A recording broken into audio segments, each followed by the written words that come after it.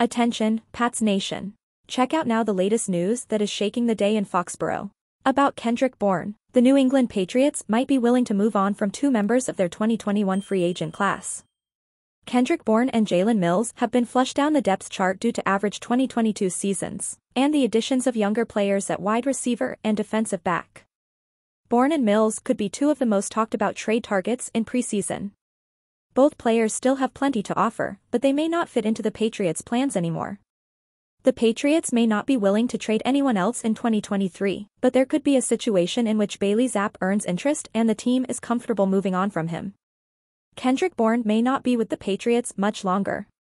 Bourne has fallen down the wide receiver depth chart in recent years due to the additions of Juju Smith-Schuster and DeVante Parker. A potential free agent signing of DeAndre Hopkins could further relegate Bourne at his position. Even without Hopkins, Bourne may not be effective inside the New England offense. He is coming off a 48 catch, 434 yard season that came after 70 receptions and 800 yards in his debut season, with the AFC East side.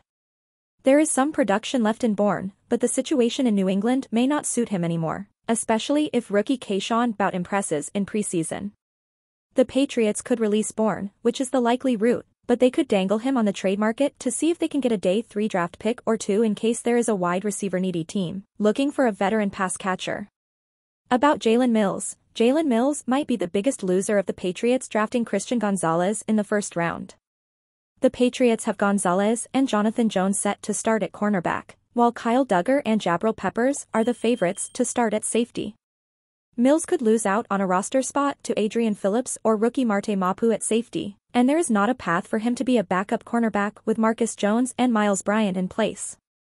The former Philadelphia Eagles player had five passes defended and two interceptions last season, but he only played in 10 games. Mills could have a great preseason and still be on the outside looking in at a starting spot, and that could make him one of the better options on the trade market. Injuries and preseason performances elsewhere will dictate Mills' potential trade market, but he could be on the move if the perfect situation comes about. About Bailey Zappe, Bailey Zappe is a quarterback with some starting experience in the NFL. The second-year player was on the field for four games in 2022, but it is still more than other backup quarterbacks across the league. The Patriots would have to feel 100% comfortable with Trace McSorley and rookie Malik Cunningham backing up Mac Jones to deal Zappe at any point in 2023. If that is the case, Zappe could be discussed with other teams who may have quarterback needs develop as the regular season moves on. Any potential interest in Zappe would likely come deeper into the regular season, especially if the Patriots feel more comfortable with their entire quarterback room, but it could happen if a team is in desperate need of a starter. About Dalvin Cook, leave it to ESPN's Jeremy Fowler to hit the tease button.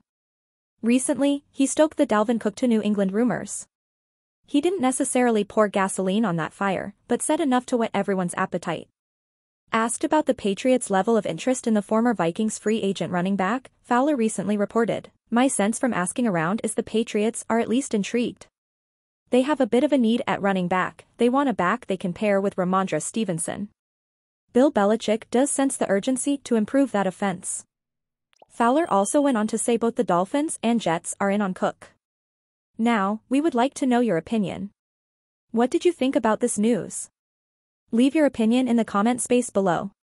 If you are a big Patriots fan, subscribe to the channel and turn on notifications to be part of our fan community here on YouTube. Thanks for watching this far, until the next video.